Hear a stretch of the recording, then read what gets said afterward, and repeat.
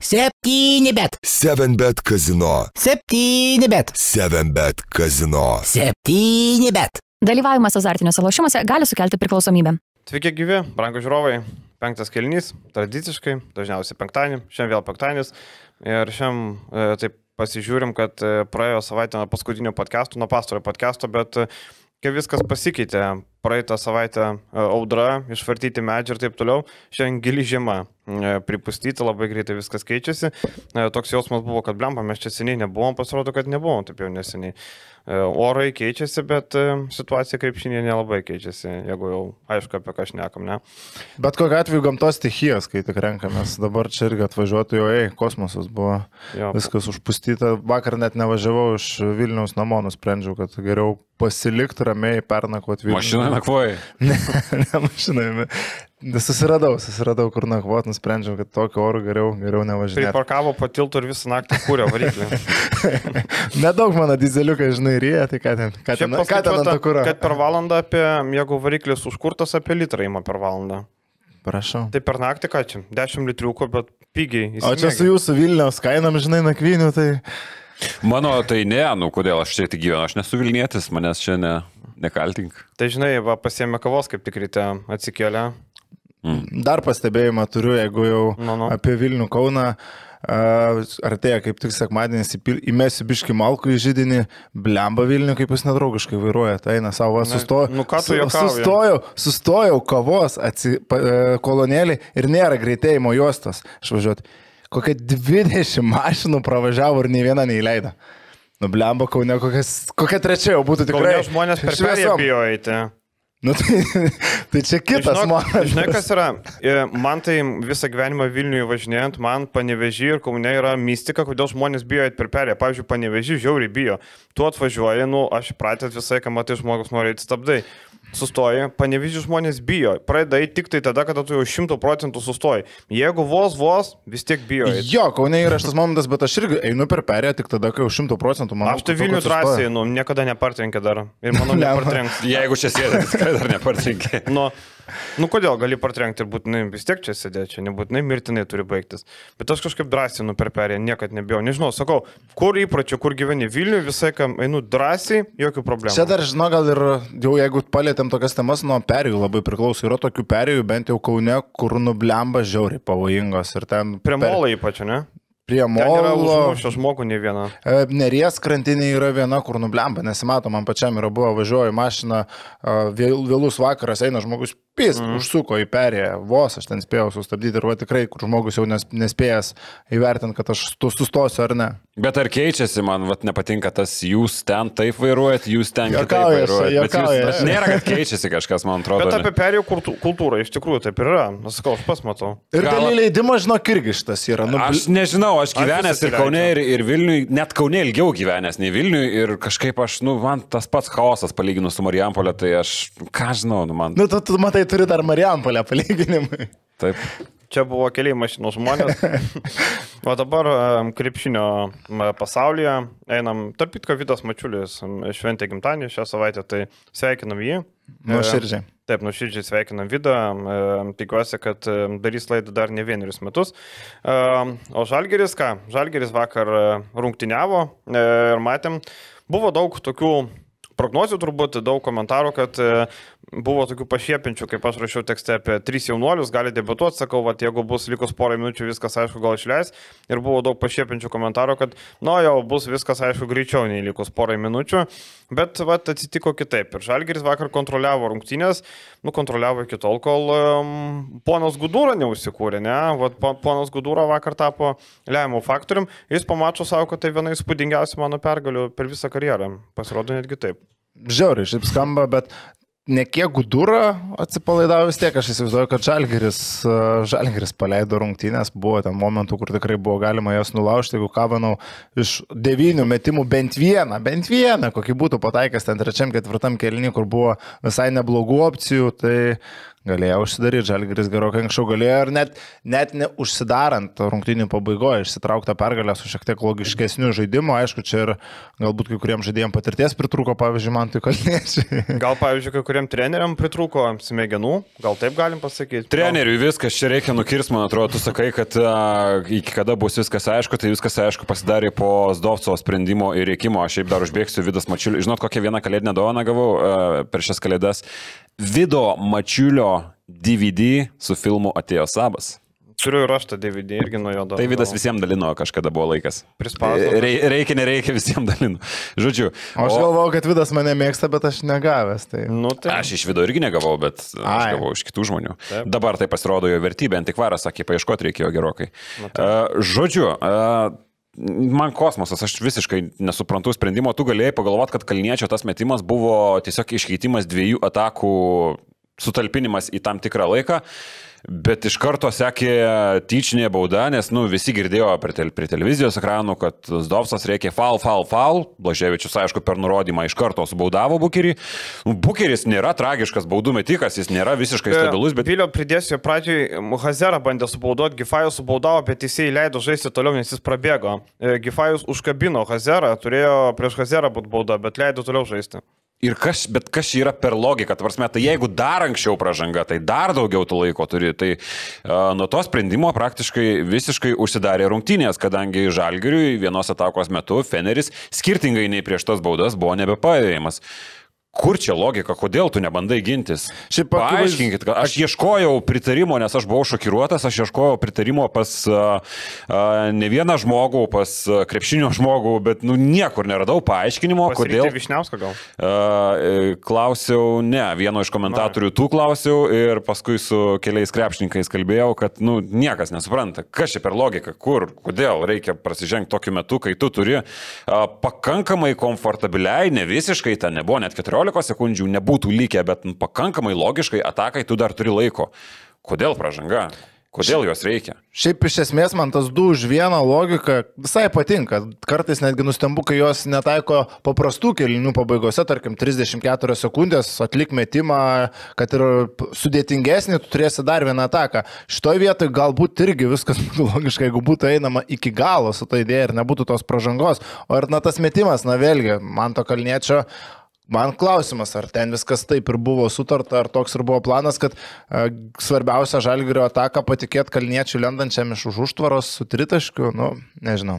Aš tai nežinau, ar ten visiškai galėjo būti pagal planą, ten galėjo būti tiesiog užforsavimas paprastas. E, Per tai mato rodė, kad em, braižė, tiesiog braižė ragus, turėjo žaisti pick and rollą ir nuo jo opcijos nusimest kažkur taip toliau. Tai ten tikrai nebuvo pagal planą metimas. Nu šiaip, e, kad ir koks dovcas bebūtų, nu turbūt e, nepaišytum derinio kalniečių mes per rankas trajeką. Nu, Nu, tai net nereikia turbūt. paaišyti nieko. Susirinka, sako, gerai, nieko nepiešiu, kalnietis per rankas trajeką. Ok, ok, let's go. Nu, E, tai, bet šiaip kalbant apie Zdovcą, nu jis pramušė dugną. Šiuose rungtynėse, jeigu dar buvo žmonių ginančių, puikiai atsimenu šitam pastate, šitoje patalpoje irgi buvo dramblių, kurie gynė Zdovcą. Pagal šio sezono rezultatus negalime sakyti, kad Zdovcas geras arba blogas. Pasirodo, galim, ne? Ne, Nu galim, ne? Kaip aš, kas sakai, kalbėjau, kad e, Zdovco kalties e, ši- šitame sezone praktiškai vis tiek nebus. Ta prasme, Nu, kaip žalgirio, blogas rezultatas nėra Zdovco išdava, bet Zdovcas yra blogas treneris. Ta taip pat Zdovcas galima yra pasakyti. tragiškas treneris. Gerai, tokio sakai, blogo, tokio blogo trenerio neatsimenu Eurolygoje. Tai yra siaubus, siaubus, košmaro, košmaras. Bet ne jis yra didžiausia problema, aš tą turbūt Vakar pasakyti. didelė problema. Ok, būtumėm vakar laimėję, būtų viena pergalė daugiau, būtumėm galbūt priartėję prie šio sezono tikslo iškovotos ne paskutinės vietos Eurolygoje, bet jeigu kalbam apie Žalgirį kaip apie konkurencingą komandą, tai Zdovcas yra tik detalė tame visame labai blogame piešinėje ir labai reikia, kad tos detalės, na, kitam, net ne, kitai sezon, ne, ne kitam sezonui gal net ir šiame jau nebeliktų. E, Šiaip a, dar priminsiu vieną epizodą, išvykstant a, į rungtynės, Zdovcas pasakė, kad jis nežino, kaip žaidžia Feneris be Dekolo ir Jano Veslikas. Nu, mane asmeniškai labai stipriai šokiravo, aš nežinau, ar prieš Eurolygos rungtynės, kad ir koks didžiulis tvarkaraštis būtų, lyginkim, nežinau, su Vitūdžiu, aš labai mėgstu klausyti jo konferencijas, niekada nesu girdėjęs tokio dalyko, nes nekalbam apie tą visų nuvalkiotą šaro pavyzdį, bet aš niekada nesu girdėjęs tokio dalyko, kad a, keliaujant į Eurolygos rungtynes treneris pasakytų, kad aš nežinau, kaip žaidžia ta komanda, nes aš turėjau, nu, tarkim, jau einant į Lietuvą, nes aš turėjau ruoštis Jonavai. Man įdomu, Jonavai. ką reikia ruoštis Jonavai. Rimtai, nu labai keista. O kitas dalykas, aš ne, nepasakyčiau, kad nu, tu galėtum plika akim pasižiūrėti, o žalgeris sukovojo, o treneris galbūt sustrategavo. Ne, iš esmės.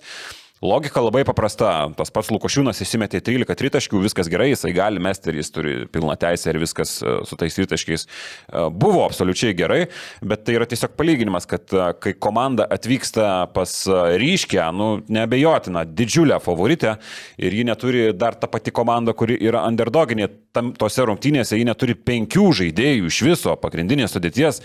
Nu, aišku, jį lies tuos tritaškius, aišku, žais be spaudimo, aišku, užmesim būsim herojai, neužmesim, bus viskas normaliai, mes turim vos net centrinę savaitės dvikovą Vilniui. Bet bet kokiu atveju mums viskas bus gerai. Tai be jokio spaudimo Žalgiris nuvažiavo, susimetė savo metimus.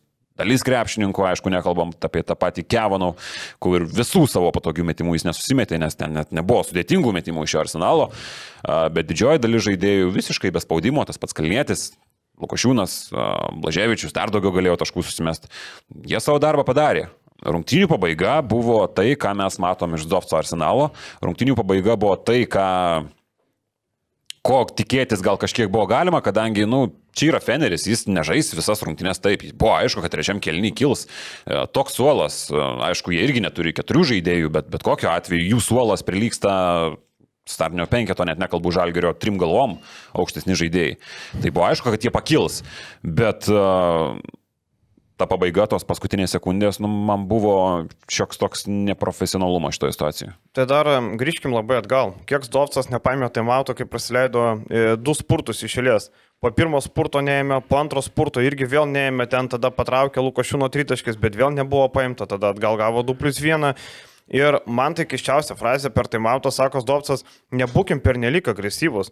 Čia ne, netako, nebūkim pernelik agresyvus. Ką reiškia nebūkim pernelik agresyvus? Išėjo Hebra užsikūrus, kaip turi būti. E, matė Marekas, koks buvo užsikūręs, ne? E, ir jisai sako, nebūkim pernelik agresyvus. Tai ką tu, broli, nori? Tai išeinam trajekus pamėtyti. Šešias baudas metė visą, visą Nu. mačą. E, Šiaip aišku, lendant į tas detalės, nežinau, kiek galbūt mūsų kompetencija tiek leidžia, bet man ir ta stand gynyba šiek tiek primena jau Martiną Šilerį, kur tas pats per tą patį, nu, nuo Šekmuso Hazero Lukošūnas eina į pagalbą, ar tai yra netidirbta iki galo, ar tai yra kame problemos, bet atsitraukia per daug, Šekmusas Hazeras gauna praktiškai visiškai laisvas mesti tritaškį, ketvirtajam kelniui liku žaisti dviem minutėms. Ir tų, tų tokių nesusikalbėjimų, tų, to- tos tokios miskomunikacijos gynyboje yra dar tikrai labai daug. Ir nežinau, ar laikas gali padėti šiai gynybai funkcionuoti taip, kaip norėtų. Atrodytų, a, 70 kiek 3 taškai praleisti prieš Stambulo Fenerbak čia nėra blogas skaičius, bet ar tikrai Žalgeris jau buvo toks solidus gynyboje? E, Jūrijos Dovcas e, dar po rungtynių, Jūrijos Dovcas sako, geros rungtynės. Nu, bet, bet gaila, kad nelaimė- nelaimėjom. Nu, man tai atrodo, žinai, vakar susitiko abi komandos, kurios neturi trenerio. Vienam vadovauja asistentas, kitam vadovauja žmogus, kur, nu, daug dievė asistentas turėtų būti. Nežinau, iš kur Žalgeris ištraukė tos Dovcą. Aš norėčiau... Išgirsti- krepšinio parašiau. Aš norėčiau išgirsti paaiškinimą, kodėl Zdovcas buvo paimtas. Paaiškinimas, kad jis griežtas nebetinka, ne? Galim vienbalsiai atmesti, nes jisai nėra griežtas. Ten e, kažkokia pasenusi teorija. E, tai už kokius pagrindus jis yra paimtas. Kaip Paulius Suberas sako, mokesčių mokėtojų pinigai švaistomi. Pritariu Pauliui Suberai. Tai yra švaistomi mokesčių mokėtojų pinigai visokiem analfabetam. Ką veikia Nilsas Gifajos komandai? Tokio kvailo legionieriaus seniai nesumatęs. Gifajus tą patį per tą patį, kiek kartų reikia baudoti metant varžovą. Atrodo, kad Gifajus ne Eurolygos žaidė, o Bundeslygos regioniniai lygo, antroji lygo, kur ten Vaidotas Volkus dar bėgiojo, Danielius Lavrinovičius. Nu tikrai, man nesuvokiama, man pikta, kad Žalgiris nusipirko Gifajų, kuris turėjo būti, na, gal solidus trečias numeris, free and D, bet jis nei free, nei D, nei brain, nieko nėra. Ir žinai, kas e, svarbiausia šitoje situacijoje, okei, okay, Gifajus išlieks po šito sezono, Jūrijos Dovcas išlieks po šito sezono, bet galvos priemusiu šios sprendimus tai nesikeis. Taip, ir taip, taip. ar mes turim potencialo tikėti, kad tie kiti sprendimai bus geresni? Vėlgi mes galim labai lengvai atsukti laikrodį ir prisiminti tuos laikus, kai Žalgiris iškapstydavo gerų žaidėjus ir mes tada randame priežastį akivaizdžią, kodėl tada Žalgiris iškapstydavo žaidėjus ir kodėl mes šį sezoną turime Nilsą Gifai, Janis Trielneką ir kitus uh, Žalgirio didžiavyrius, kurie šios, šiuo metu yra Eurolygos dugne. Tai tokį Nilsą Gifai dabar laikyti iki sezono pabaigos, man yra pikta jam mokėti pilną algą, aš nežinau. Man atrodytų savigarba Žalgiriui turi neleisti legionieriaus išlaikyti taip iki sezono pabaigos, mokėti jam, nežinau, kiek tu stupysi dabar atleidęs į keliolika tūkstančių. Kažką stupysi. Nieko, ką tu stupysi. Nu, jeigu, tarkim, iki sezono galo. Ne, nu, tarkim, jeigu sustartum dėl 2-3 mėnesių algos, nu, tai staupytum 1-2 mėnesius, tarkim. Bet jau nuvažiuoja tas trūkumas. Taip, taip, dabar aš suprantu, ne, čia jau nebent principo reikalas gali sugruoti, kad, na, Žalgris e, savigarbos e, klausimų gali bandyti ieškoti pokyčių sudėtyje, ieškoti geresnio žaidimo, nes potencialo kilti kažkur su tokiu Nilsu Gifai, su kitais taip žaidžiančiais krepšininkais daug nėra. Man tik e, labai nepatiko tas pasakymas, e, paminėtas pas mus mokesčių mokėtojų pinigų. Čia apie kiekvieną klubą tą patį gali pasakyti. Pas mus savivaldybių lyga tas mėgstamas yra pasakymas, kad nu, kiekvienas klubas, iš esmės rytas, pavyzdžiui, tai kiek pinigų savivaldybės Vilniaus prašvaistė, tai čia gali kiekvieną klubą paminėti tuo, tuo klausimu, bet komandos komplektuojasi, jos vykusiai ar nevykusiai, bet nu, kažkaip jos komplektuojasi, o Kitas dalykas, man šiek tiek tik tai šitas pralaimėjimas, kuris žiauriai apmaudus yra, labai krito stebint tokias bendras nuomonės, kad Kalnietis liko praktiškai kaltas dėl šito pralaimėjimo, nes kiek pasižiūrėjau, ką žmonės masto, tai labai Kalniečio pavardė juodom baltom ir gumarga. Tai aš nenurašyčiau visko tom, aš būtent va, tiem sprendimam, kas eina nuo, nuo komandos viršaus ir, ir iš esmės ir nurašyčiau, nes, nu, man kai kurie buvo dalykai nesuprantami, kurie praktiškai visi buvo paminėti iš tam podcast'e jau kol kas. E, o su Kalniečiu, nu, tai yra žaidėjo individualus sprendimas, gal šiek tiek irgi gali net mes, kad gal perkaito žaidėjas. Uh, E, toj situacijoje su puolimo bauda ten absoliučiai žaidybinis momentas ir gali pasitaikyti bet kada. E, tai yra klaida, bet iš esmės, sakau, jis gali pasitaikyti bet kam. E, kitas dalykas, tas metimas, tokiais metimais jis prieš tai buvo susikūręs dvi progas ir tas dvi progas du tritaškius realizavo. Vieną iš tikrųjų. Vieną, nedaug. Vieną? Mhm. Yes. Vieną Okay. prametęs prieš tai irgi ką. tik Okay, buvo. tai gal prieš tai priminė, nes tolimesnis, nu kažkaip įstrigo. Žodžiu, bet kokiu atveju. Ir a, aš vėlgi mes kalbėjom, aš įsivaizduoju, kad bandė skurti savo erdvės, pakilęs metimui, pastebėjau, kad gynėjas prie jo labai arti ir da metimo jis nedametė. Tai čia yra perkaitimas, čia yra užversavimas, čia yra blogas sprendimas tokių rungtinių metų, bet uh, treneris turėjo visus šansus sukontroliuoti rungtynės ir pabandyti, žalgės nepabandė laimėti gale. Per 30 likusių sekundžių Žalgeris nepabandė, o užsidarė sprendimu, po kurio Bukeris ramiai uždarė rungtynės. Apskritai per daug dažnai man minima Kalniečio pavardė net vis, viso sezono kontekste. Aš, jo, ji- jis man tikrai nėra tarp didžiausių nusivylimų. Žalgirė šį sezoną toli gražu. Galbūt galima buvo tikėtis šiek tiek geriau, bet daug geriau. Na, iš jo bent jau aš asmeniškai nesitikėjau. Kiti žaidėjai turėjo deliverint ir tai yra visų pirma legionieriai, kurių indėlis vakar, na kas iš legionierių sužaidė bent šiek tiek solidžiau. Ka- Kava naudų taškus pelnė ir 13 kamolių. Tebūnė, tebūnė geriau. Nybau, keturi taškeliai irgi. Marekas jau atrodė vakar solidžiau negu Džošas Nybau. Tai aišku, prie Nybau mes čia tikrai nekimbam. Čia vienintelis turbūt geras a, Žalgirio tikrai ėjimas iš legionierių vasarą. Visi kiti žaidėjai, kurie turėjo daryti žaidimą sezono metu, yra nuvilintis. E, Pasiš... Vakar labai e, juokinga buvo, sako Rytis, na, Kevanau kaip e, Denisas Rodmanas, 13 kamolių, 0 taškų, sako Petrauskas, bet Rodmanas nemetė krepšį, o čia 0,9.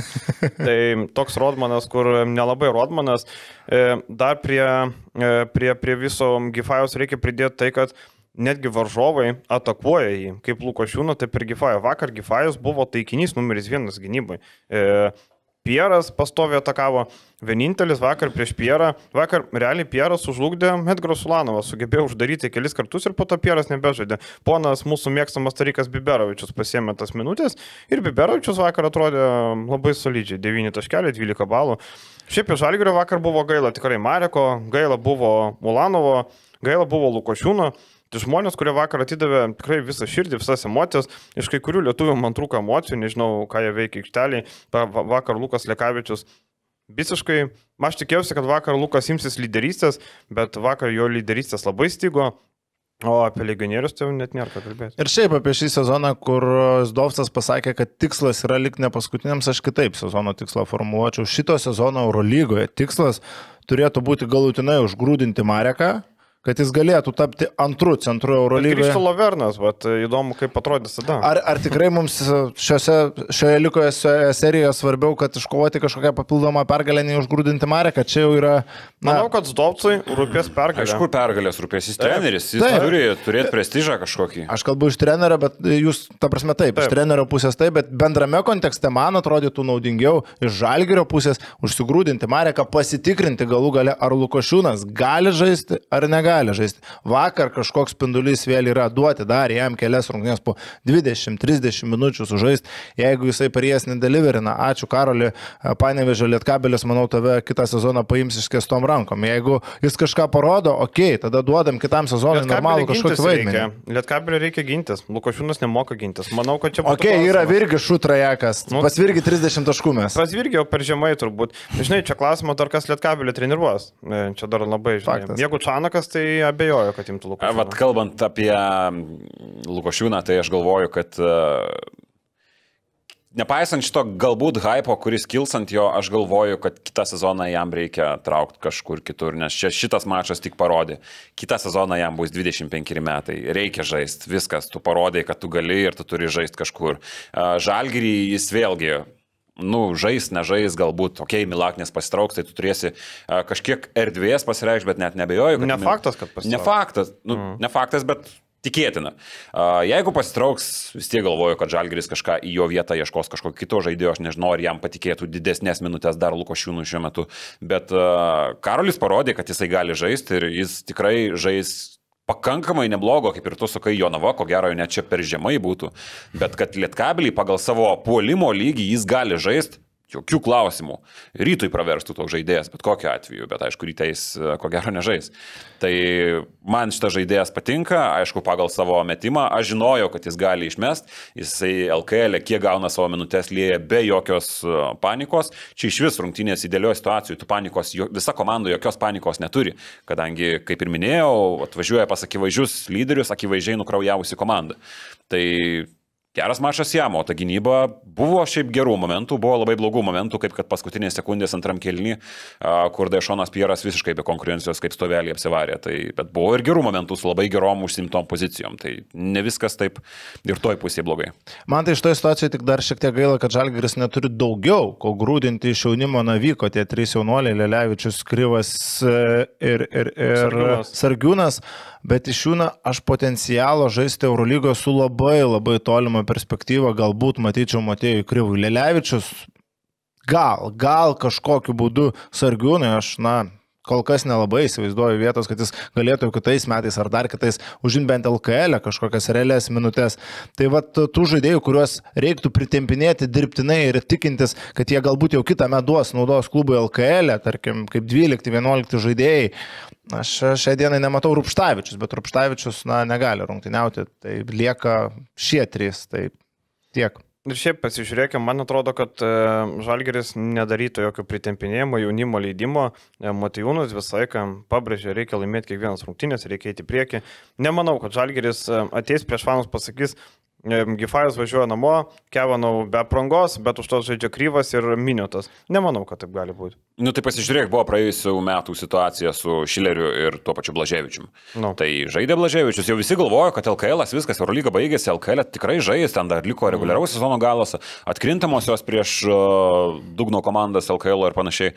Tai puikiai vieta žais, atrodo Blaževičiui ir tikrai žais, nu, nevelnio nežaidė. Ir prezidentas, šiuo atveju Paulius Motyvūnas, nu, iš esmės iš bendros Lietuvos gal fanų pusės mes visi norėtum, kad tie žaidėjai tobulėtų greičiau, bet iš trenerio pusės, iš klubo pusės, nu, jis gerai, kad nesikiša į trenerio darbą, nu, jis turi duoti pasitikėjimą kažkokį tam tikrais momentais. Aišku, kažkas šio sezono pradžioje ir vasarą buvo praleista per daug pro pirštus, bet a, iš esmės, a, žiūrint į trenerio ir prezidento santykius, Nu tai jis gerai, kad nesikiša iš esmės. Bet jau kai davė pasitikėjimą šilerį, tai nors su vežimu vež dar dabar vežam visą tą pasitikėjimo Nu kraidę. tai blemba, vėl mes kalbam, kai viską žinom. Tai Ne, tai pasitikėjimas ir lėmyje, tai čia turbūt Zdovcas buvo lėmyje įmas, jisai tą rinką postę apžiūrėjo. Ir čia eilinis įrodymas, kodėl metropolitans atstovai šyp, šypsosi, kai paklausė apie Zdovcą žalgerį, kodėl tokia šypsinėlė atsiranda. Čia kaip mūsų paklaustų, pavyzdžiui, ką manote apie Iliją Zūrosą. Turbūt irgi visi iš mūsų pradėtų šypsotis, ne? Nesakytų, o, oh, great coach, ten, sakytum, nu... Jo, tai vad lygiai taip pat jie pažiūrėjo į klausimą apie Zdovcą. Tai čia labai daug ką pasako, kai žmonės, e, klubo žmonės, kuriame jisai dirbo, sušypsina priema klausimą ir taip e, nenori užvaryti, užstumti, bet taip pasako maždaug, kad suprastum, kad nu kokį jūs čia lochą nusipirkot. Nu, toks ir buvo atsakymas, tiesiai šviesiai toks ir buvo atsakymas. Tai mm, labai daug ką pasako. Ir e, man atrodo, kad Žiofry Lovernas jau gali pakuotis lagaminus, jo kitą sezoną fašior nebus. Jeigu Žalgiris pasiliks Loverną, Marę, Karnybą, nu tai vėl bus beprasmybė kažkokia, bizabrazija visiška. Ir apskritai tiek pinigų mokėta vidurio polėjai čia jau buvo ta didžiausia, tur- viena iš didžiausių, nuo tų klaidų jau ant rankų pirštų sunku suskaičiuoti, bet praeito sezono viduryje pratesiamas centras, kuris tampa brangiausiu žaidėju ir kuris turi traumų istoriją. Ir ta traumų istorija, na, pasirodo nebereikalo. Buvo tikėtis, kad Geoffrey Lovernas bus vis sveikas visą sezoną, na, čia yra tikėjimas, o ne real, kažko realų pagrįsta viltis. Nybau yra pasirašytas vienam sezonui. E, Vienas plus vienas. Slovernas irgi pernai vienas plus vienas iki 23 metų vasaros. Tai Sloverno galima susitartą pliusą nutraukti, viską tvarkoja. Bet man vis tiek, nežinau, aš neįčiau kito sezono Eurolygos su Mari, kur nebuvau. Ta pati norėjau sakyti, perskistai atrodo. Labai perskistai atrodo. Nebent yra tada opcija imi ketvirtą numerį, kuris gali žaisti penktų numerių mm. dar. Aka, Akilė Polonara, va tokioje situacijoje būtų. Na, aišku, čia kaip pavyzdys, nes nesku, kad Žalgiriui Polonara reikia. Arba nebūtinai metantis, tarkim, mes patronų podcast'e su Olgiu kalbėjom, jo idėja buvo, tarkim, Didžiuanas Johnsonas. Tai yra ketvirtas numeris, kuris gali pažaisti centru, turi vidutinį metimą, Eurolygos patirties, e, būtų prieinamas kainos prasme. Tarkim, Didžiuanas Johnsonas tavo pavyzdžiui tinka. Nėra metikas iš toli, bet ne Polonara, bet puikiai atitinka. Bet jokiais būdais tai negali būti dar vienas trečias tipinis centras. Nybau yra ti- tipinis centras, Marekas yra tipinis centras. Jeigu tu pasimsi dar trečią tipinį centrą, nu tu vėl turėsi tą patį per tą patį. Nu, nybau tik tai mobilia, mobilesnis daug gynybo yra, bet iš esmės e, daug kur. Nu, mes labai daug kalbam, kad e, Nybau yra tas žaidėjas, kuris vienintelis, ko gero, pasikėlė vertę, iš to žalgerio sudėties, bet, e, nu, aš vis tiek jo neįsivaizduočiau kitą sezoną.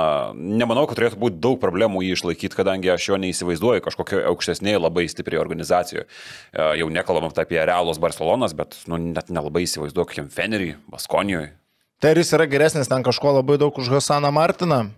Nu, Gal kažkiek. Jeigu kaip free agentas, tai na, aš įsivaizduoju daug kur. Bet jeigu, tarkim, mokėti išperka, tai aš irgi neįsivaizduoju, kad kažkas už jį mokėtų išperka.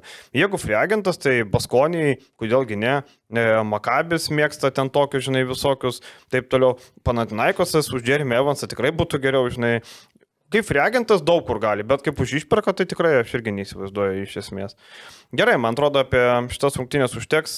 Kitą savaitę Žalgeris turi dviejas rungtynės ir su Panatinaikosu išvykoje ir su kuo dar vienas mačas ir dar vienas mačas su Milanu.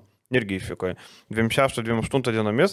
Ir dabar įdomu, kokios sudėties bus Žalgeris. Turbūt e, šiaip Janio Strelniko trauma turbūt nieko netikėtų. Net turbūt labiau netikėta buvo, kad jis du mėnesius visiškai sveikas buvo. Gavo šiek tiek daugiau minučių pažaisti ir, nu, natūralu.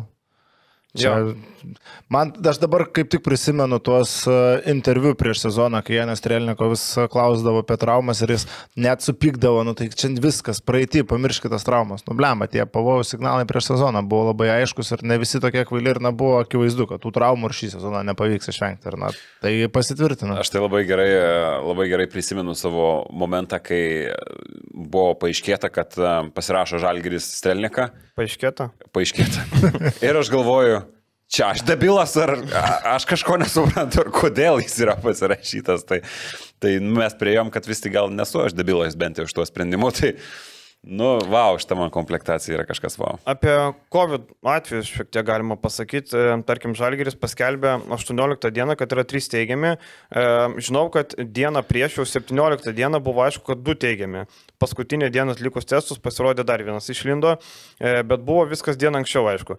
Tai realiai iki 26 dienos tie pirmi du, realiai visi trys gali žaisti. Bet tiesiog tvarka tokia, kad pasidaro vieną testą, antrą testą ir jeigu viskas ok, gali po septynių dienų būti laisvi. Tai reiškia 25 dieną, kada skristi Milaną e, į Atenus, e, Žalgerio e, sergantis gali skristi. Tiek, kad tie testai toli gražu ne visada taip greitai pasidaro neigiami. Nu čia taip, taip. momentas. Čia kitas Čia momentas. tu gerai žinai. Čia aš galiu papasakot, kaip ten būna. Jo, tai va įdomu, bet dabar ką, reikia užmesti akim Žalgerio ryto rungtynės. Ir čia nežinau, mes, aš kažkaip tikėjausi hypo, kažkaip galvojau, reikia nueiti SG areną pa, pasižiūrėti, gal susimuš kažkas. Bet manau, kad didelio hypo nebėra, ne, kaip man atrodo. Tarp kitko, pridėsiu detalę Žalgerio insiderį, siuntė skryną vienas kolega, kad e, yra balsavimas, kaip susiklosi šios savaitės rungtynės. Žalgeris laimės Fenerbakčią, laimės rytą, laimė, pralaimės abiejas, tai laimė variantas pralaimės abiejas. Žalgerio insiderio vartotojai balsuoja, kad Žalgeris pralaimės abiejas rungtynės. Čia vakar rezultatai, nežinau, gal pasikeitė, bet tuo metu buvo 40 ten keli procentai, kad pralaimės abiejas. Bet aš meščiau šitoje vietoje akmenį žnaikino daržai to, kas užduoda klausimą. Neklaus tokių dalykų. Dabar Bet ten savo- yra įprastinis. Įprastinis kiekvieną Jo, savaitę, nes- Jo, jo, jo. Šitoje vietoje aš tiesiog neklausiau, ką žmonės galvoja iš Žalgirio pusės. Tai Dar tegul paprašo, kaip vertinate šį sezoną Žalgirio? Tragiškai, labai tragiškai, blogai ar labai gerai? Kaip vertat Jūrijos Dovco galimybės likti žalgerėje? Spiriam dabar, spiriam sekmanį, spiriam po KMT, pratęsim sutartį trim metam. Klausykit, apsimoka mums Zovsą pasilikti ar ne? Kaip galvoja? Su ilgalaikiu ir, ir, ir visą komplektaciją jam atiduot. Yra mintis pasilikti Zovsą. Ką galvoja? Pirmiausia, jūsų nuoširdėjai ir galiai klausime mes. Šiaip, gerai, žalgeris įtas, tai ką jūs galvojate, vyrai? Bus intriga, gali žalgeris tokią pat sudėtimą antrą kartą per savaitę kažką panašaus, ar, ar bus į vieną uodegą? Na, aišku, gali ir aš net nelaikyčiau ryto dideliu favoritu dar žaidžiančio be Moriso Anduro. Aš irgi lygiai taip pat. Čia Aš- mes ant nuotaikų gyvenam, bet uh, man rytas šitoj kovo nėra vis dar favoritas.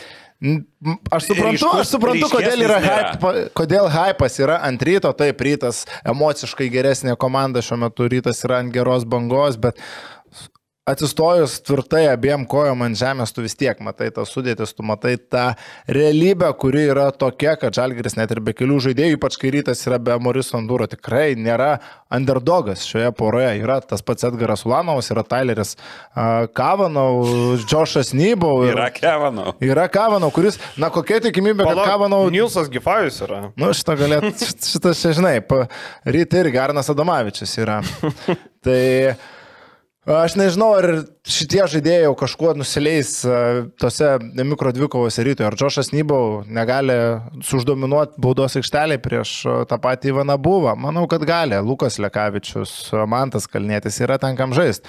Pamatėm, kad tas pats Karolis Lukošūnas, pakilęs nuo solelio, gali iššautų trajakų. Tai aišku, labai lengva dabar pasigavus tą emocinę bangą sakyti viskas, rytas sunešio šią žalgerį vieni vartai jūrė out po šio mačo, bet aš sakyčiau, kad šansai labai apylygus.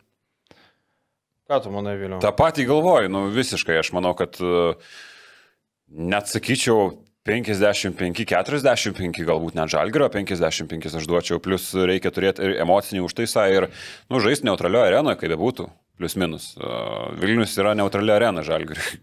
Kita Nu, vertus, nebus šį kartą. Šį kartą Šįkart nebus. Kiek a, domėjausi, lik labai plovo šluoja bilietus iš Šluoja bilietus, bet tu nežinai, ką šluoja. Tikrai nežalgerio gerbėjai, kurie pranašauja dvi pergalę, du pralaimėjimus šį, šią savaitę žalgerį. Nu, žodžiu, bet dažniausiai būna taip, kad uh, 60 ant 40 triukšmas ten būna, 60 šeimininkam dažniausiai. Bet uh, nežinau, tu viską iš esmės pasakėjai. Aš galvoju, kad uh, rytas nėra, ko gero, tokia komanda, kuri galėtų prižalgyrį bet kada vadintis aiškiai favoritu, nu, šiom aplinkybėm ir kad ir toks žalgrys yra sumuštas, suspardytas, sulūptas. Ir plus nepamirškim to fakto, kad e, aš vis tiek galvoju, kad žalgriui čia yra centrinis mačas, galbūt net ne Eurolyga. Pas... Gerai, mes dabar kalbam apie pralaimėjimą Feneriui, bet mes labiau diskutuojam iš tos a, tragiškos rungtinių pabaigos pusės, bet iš esmės jokios tragedijos nėra. Prieš karaliaus Mindogo taurę susikelt kažkokias nereikalingas žalgeriui intrigas, kažkokią nereikalingą įtampą prieš karaliaus Mindaugo taurę, prieš pat taurę yra visiškai nereikalingas dalykas. Kitas dalykas yra pralaimėjimas Žalgirio arenoje prieš kiek ten, 2-3 mėnesius buvo tas pralaimėjimas.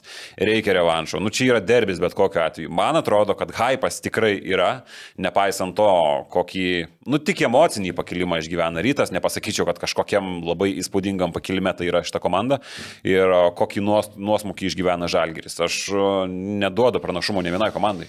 O kaip tik Gintaras Krapikas šiuo metu serviruoja mums visiems klausimą. Pamatysime, ar Žalgiris turi charakterį ir vyriškus kiaušinius. Taip. E, Aš pirmadienį prognozavau ryto pergalę ir dabar dar labiau sustiprinau. Aš duodu 70 procentų rytui ir su labai aiškiais argumentais. Pirma, Žalgeris e, žaidė šeštadienį, žaidė antradienį, žaidė ketvirtadienį, žaidė sekmadienį. Labai intensyviai. Antra, rotacija. Vakar žaidė 8 žmonės, prieš Jonavą žaidė 8 žmonės. E, trečias dalykas. Žalgeris dabar duobė, psichologiniai duobė. Man atrodo, to, toks pralaimėjimas kaip Stambulė dar labiau bloškia žemyn. Tu buvai arti, neblogai žaidėjai, gerai kovoji, viskas ok. Bam. Kitas dalykas. Žibėnui labai gera bus, e, labai gerai, e, kaip sakyti, pasižiūrėti, kaip žalgiai žaidžia su to sudėtim. E, Niekas rytas neleis Lukošiūnui mėti tokių metimų. Rytas žaidžia namie, žaidžia su dideliu užtikrintumu, su labai, su labai gera emocija. Ir aš duodu visiškai 7 procentų rytui, nematau didelių šansų. Racionaliai žiūrint, jeigu nebus jokių daugiau koronaviruso atvejų, Manau, ryto pergalė 10 taškų bent jau. Na, ta ryto rotacija irgi vienas iš faktorių, kuriuos tu paminėjai, tai irgi yra 8-9 žaidėjai normaliomis sąlygomis dabar, kai nėra Moriso Andūro, tai čia didelio pranašumo aš rytui nematau. Vis tiek, Radzevičius žaidžia 30 kelias minutės, Butkevičius žaidžia 30 minučių. Bet palauk, ta rotacija savaitę neturėjo rungtinių. Jie nuo rungtinių su Dzukyje neturėjo, savaitė bus 8 dienas be rungtinių. Jie žaidė su Dzukyje šeštadienį ir sekmadienį žais su Žalgiriu. Ne visada tai irgi išeina į naudą toks neįtemptas, toks Nu, taip, laisvesnis bet e, tvarkaraštis. turbūt geriau ilsėtis 8 dienas negu per savaitę. Jo, bet Nybau, Nybau, ne, Nybau nepervargo, aišku, skrydžiai, kelionės, visą Ulanovas kitą. po tricoką kapojo už tą. Ulanovas. Tvirtas vyras. Man atrodo, Žalgiriui būtų neblogai e, prieš ateinančią vasarą tokie sukretimai. Sukretimai ne e, reguliarkiai, kad Šiknas atspardo rytas e, kažkokiam eiliniam reguliario sezono mače, bet sukretimai yra pramazinti taurę. Sukretimai yra galbūt net LKL pramazinti. Bet leistis Dobca. E, tada tu su dar desnė atsakomybė gali priimti kažkokius e, sprendimus, nes tu praradai viską. Iš karalių tu pasidarai visiškai apačioj. Ir man atrodo, net ir apie LKL labai daug ką pasakytų, jeigu Žalgiris su tokiu sezonu sugebėtų sunešioti rytą finale. Ir, e, nu, okei, okay, intriga tikriausiai turėtų būti, bet jeigu Žalgiris su tokiu sezonu laimėtų LKL. -ą. Tai man atrodo apie LKL, patį LKL čempionatą labai daug kas būtų pasakyti. Ir šios rungtynės sekmadienį vėl dar vienas e, išbandymas, e, manau, Jūrijos Dovcui. Bet kokiu atveju mes jau prieš tai podcast'e kalbėjom, kad Paulius Matijūnas a, kantrybės e, šiuo atveju gali vėl nepademonstruoti maksimaliai, jeigu Žalgiris suspardomas Vilniuje keliasdešimt ar bent keliolika taškų, nu savigarbo Žalgiris turi turėti, Aš būti atleidžiu neleisdamas. Dobca. Jau, nie, jau nieko blogiau nebus. Reikia kažkaip gelbėti tą sezoną. Net leišios Dovsa. Aš iš karto spirčiau lauk. Minus, minus 30 taškų, tarkim, Vilniuje atleišiu. Ne, 30 ne, užtenka. 20. 15-20, manau, užtektų. Realiai, pasižiūrėkim, e, palyginkim Žalgiris su rytų žaidė prieš tai. Žalgiris dabar yra tokioje pačioje šiknoje, kaip buvo tada. Vėl fanai turi vos neteiti ir sakyti, ką darot. Ne, nu tai bandomgi, ne, ne, ne, nesėdimi merkė kojas į baseiną. Realiai, atsimenam, po to buvo biški pakilimas, sugebėjo laimėti prieš Fenerį, e, sugebėjo trys pergalės paimti Eurolygoje, tada vėl krentam žemyn. Ir va šitose rungtynėse labai trūks uh, Milaknio, trūks to paties galbūt net ir Pauliaus Jankūno, Jankūno trūks, aišku. kur jie supranta, kaip žaisti prieš rytą, jų lygis vis dar yra geresnis turbūt negu pagrindinių ryto žaidėjų. Tai uh, faktas, kad ir Pauliaus Jankūno ir Milaknio netektis šiame momente yra labai skaudžias. Ir Man atrodo, taurė labai daug ką parodys, bet tai, ką rodo paskutinės savaitės, nu vėlgi. a, Nepatinka, aš galbūt dabar tiesiog nesivadovauju karštą galvą, man atrodo, kad a, tokioj prastoj situacijoje dabar atrodo, kad atleis Dovca būtų nu, neteisingas sprendimas, bet pažiūrim, kas bus toliau. Bet kokiu atveju man labai nepatinka, kas vyksta jau du mėnesius. Man nepatinka tie nesiruošiam rungtynėm, nes mums reikia ruoštis Jonovai, man nepatinka tie sprendimai, man nepatinka ta apatija ir ta kartais nu, iš veido kūno kalbos nemotivacija, demotivuojantis kažkokie tai uh, gestai ir panašiai. Nu, tėvai, reikia, man atrodo, susijimti. Aišku, atleisti vien tam, kad atleisti tai nėra išeitis. Jeigu nėra jokio kažkokio varianto paruošto, su nieko nesikalbama, kas galėtų perimti vairą. Nes jeigu vėl bus paimtas treneris, kur sakysim, kad griežtas arba šitas yra labai geras O taktikas. jo tai nėra, aš taktikas- turiu omeny, šiuo metu jo būti negali. Nu, Vesdanas Mitrovičius be darbo. Gaisrininkas, Gintaras Krapikas be darbo. Ar Krapikas yra tikrai blogiau nei Jūrijas Dovcas? Ne. nežinau. Gal ne. Kalbėjau su vienu Jonavos komandų žaidėju, e, sakau, e, kaip... e, kaip jūs- Lekleno Andersonu. Jo, jo. Ar Manulė komtų? Sakau, e, kaip jūs einate į tokias rungtynės, kol su žalgeriu neturit e, visos sudėties, sakau, e, ar yra tas faktorius, kad tai, kad žalgeris prastai žaidžia, dar labiau užveda varžovus. Sako, visiškai taip ir yra, kai tu matai, kad žalgeris yra toksai pažeidžiamas, nėra užtikrintumo. Sako, anksčiau būdavo pasižiūri, žalgeris atvažiuoja LKL, visi bijo prieš jo žaisti. Tarkim, prieš Šaro žalgerį žmonės bijojo žaisti, nes išeis ir tau, tave suspardys arba, arba primuš stipriai. Dabar, tu eidamas, vaini su viltim, kad gali laimėti dzin. Penkiese, šešiese, Roluševičiai, belekas, tu gali laimėti prieš Algerį. Tai va tas faktorius dar labiau eina į ryto pusę. Rytas visi išeis kaip šūnis, kaip mėgsta Normantas sakyti, nežino, kad gali sudraskyti tą Algerį, nes yra visai, visai kita emocija. Žibėnas, vad sakot, nėra kaipo, dar žibėnas gerai pylė, jaučiam parako kvapą. Tai va, va. Ir komentatoriai rašo, prie ko čia Kaunas Asilė, tas legendinis.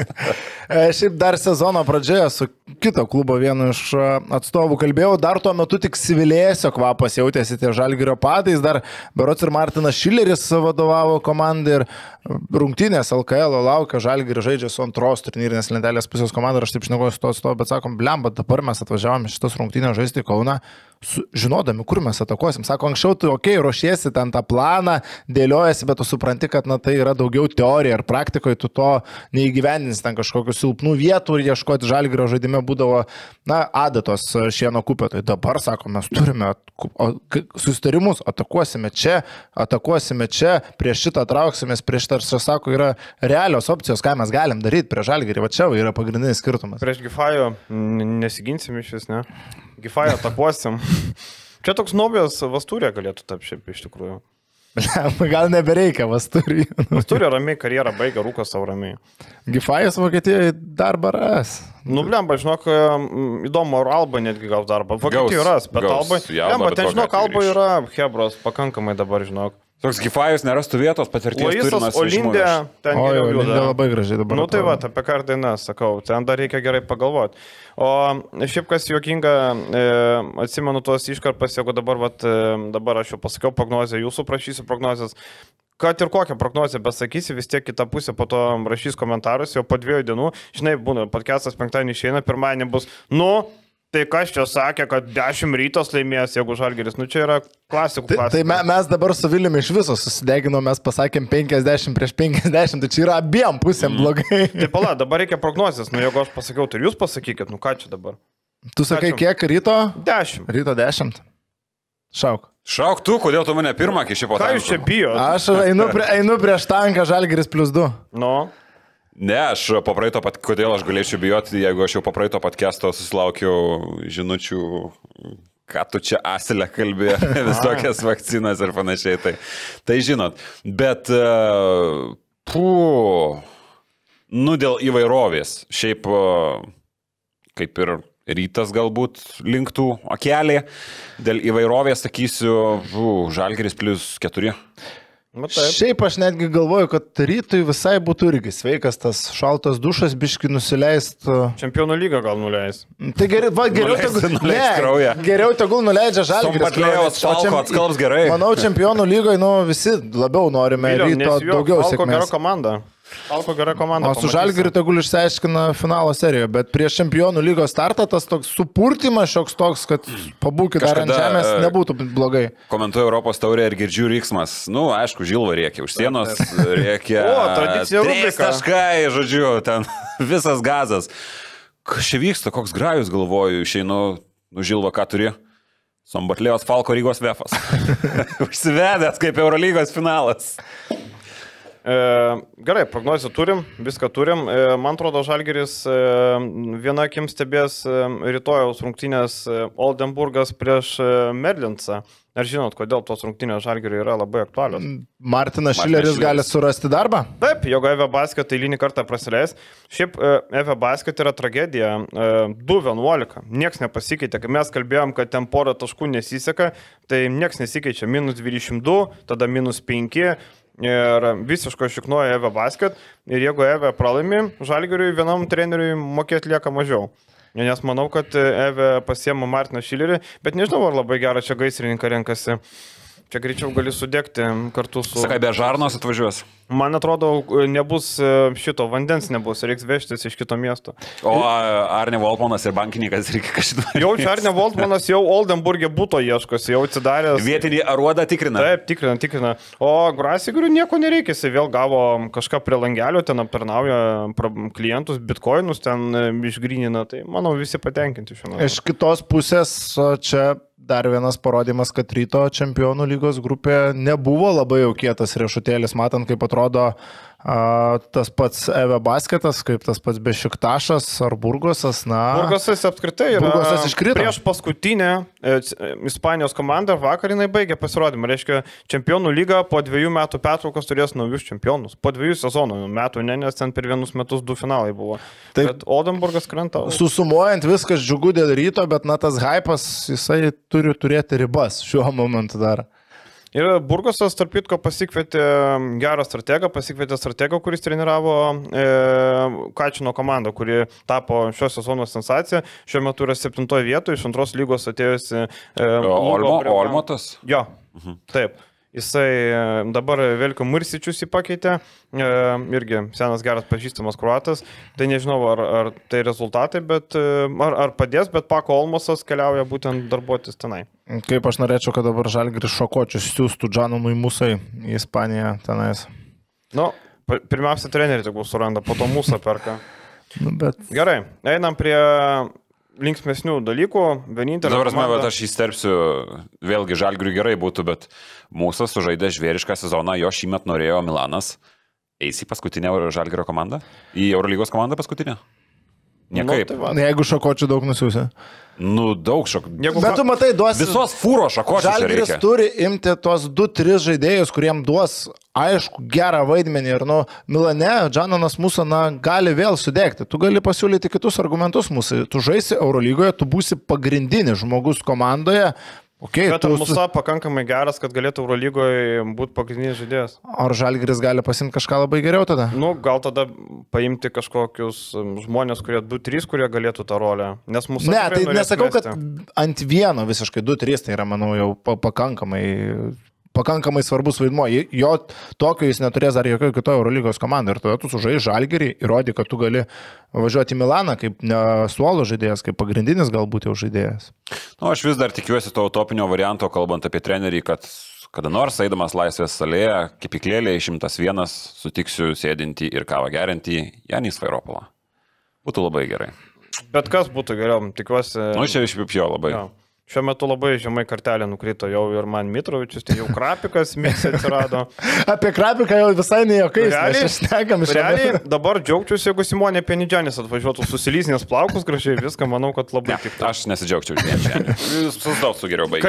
Kalnietis ne. komandą. Taip, Jauskit ribas, ponai, prie šio stalo. Gerai, e, Lietkabelis e, toliau žygiuoja sėkmingą Europos taurėgo, mes po pirmo etapo kalbėjom, kad e, kiek ten 9 balus davėm, 8, 5-5, išlygina santyki ir pasiemė tokią užtikrintą tvirtą pergalę prieš Vroclavo Šlionską, Šliolską, Šliosą, kaip mėgsta sakyti liaudis.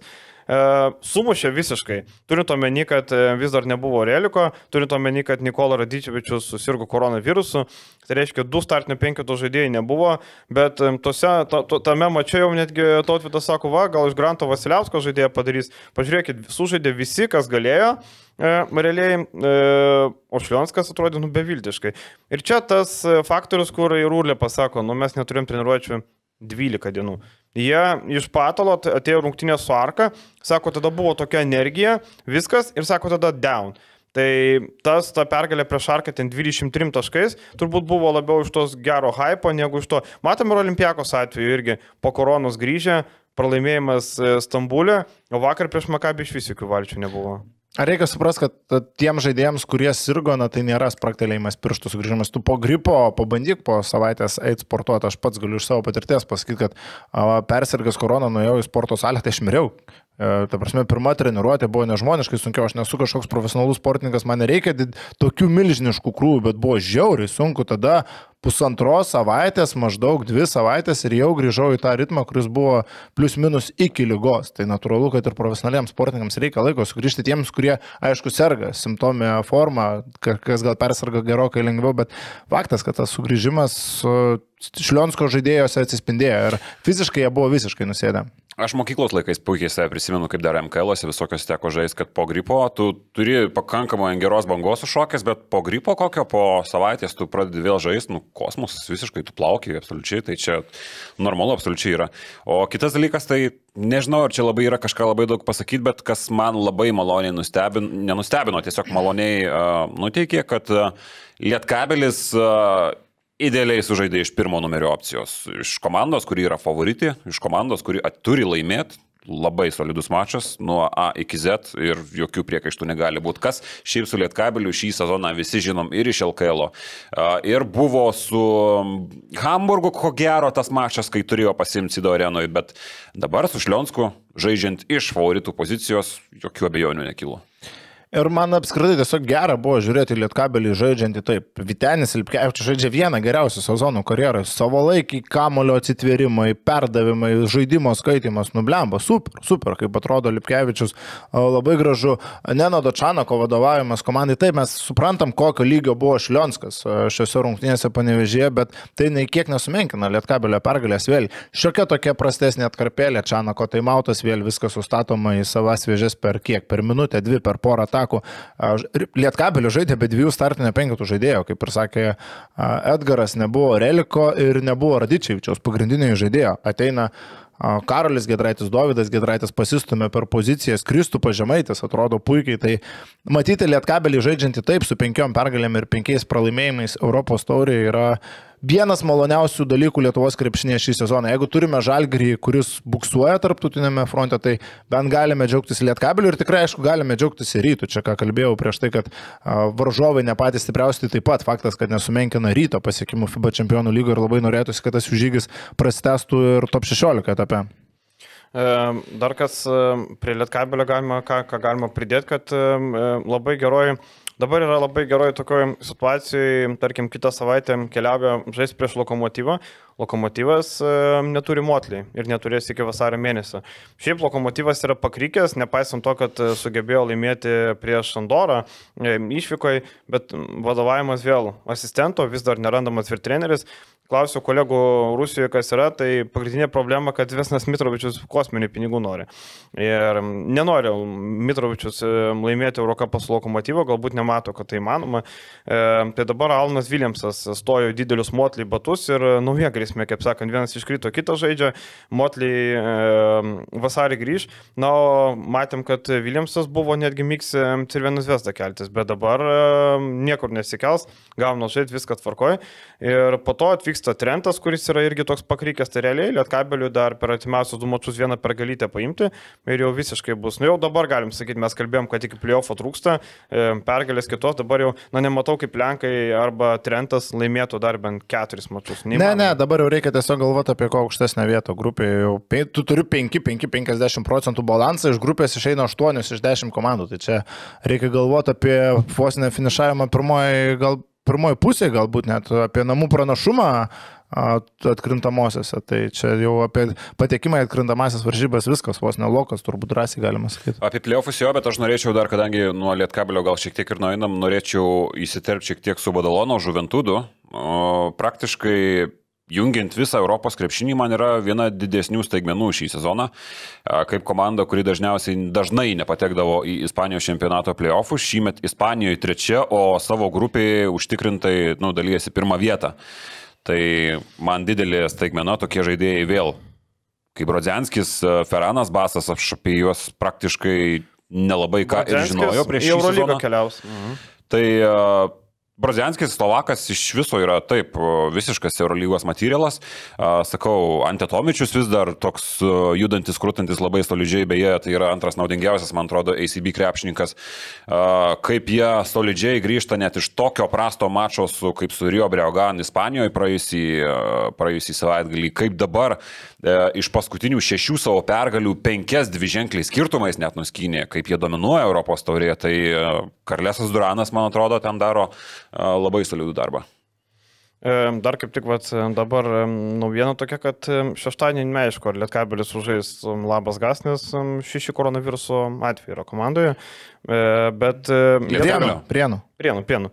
E, Bet jie privalo, privalo žaisti, nes yra registruota 16 žaidėjų, reiškia 10 turi, nepaisant to, kad ten 2 yra trumuoti, tai realiai Labas Gas 8 gali žaisti. 10 bent jau turi, tai nėra jokių problemų. Tai va, Bet tai, kokiu atveju, čia matant tuos skaičius dabar, kad tų nukelimų LKL e dar daugės artimiausių metų ir ar tos rungtynės Žalgiris rytas, apie kurias mes kalbam sekmadienį, ar neišlys dar čia per porą dienų atveju, mes ne, negalim būti tikri čia. Per dieną 7000 atvejų Lietuvoje, tai patys suprantam, kokie tai skaičiai. jo, ir ką, pabaigai pasižiūrėkim, šiek tiek Eurolygoje vakar labai įdomus mačas įvyko, tarkim, Unixas ir Barcelona. Ir vakar, vakar Jonas Braunas 7 perimti kamoliukai, abu Braunai vakar buvo įspūdingi ir man šiek tiek nerimo kelia, kai Rokas Jokubaitis susidūrė su Johnu Braunu, kad tik e, kokiam Eurobaskete nebūtų kokio Johno Brauno, nes vakar Jokubaitis atrodė nunarinės nuos ir pradės pasitikėjimą savimi. Vos atbėga Jonas Braunas, kamuolys užrybė. Pamuša kamuolį, Rokas ten puh, užrybis, puh, užrybis. Nu, vakar e, iš tos pusės e, nuvylė. Bet tai žinai, ar Nikolasas Laprovitola atrodė ne ką geriau prieš Džoną Brauną lygiai taip pačiai keturis kartus suklydo, tikrai ne. Jokubaitis visus kartus suklydo prieš Džoną Brauną, Laprovitola gal dvi iš keturių klaidų padarė prieš Džoną Brauną. Tai septyni perimti kamoliai Eurolygoje žaidžiant prieš Barceloną. Čia yra kosmosas. Ir tie septyni dar net ne viską atspindi. Aš kur komentuodamas pabrėžiau, kad kiek atakų dar buvo, kur tiesiog e, Braunas pamuša kamolį, išmuša jį iš rankų ir palieka varžoms, tarkim, 3-4 sekundės atakai.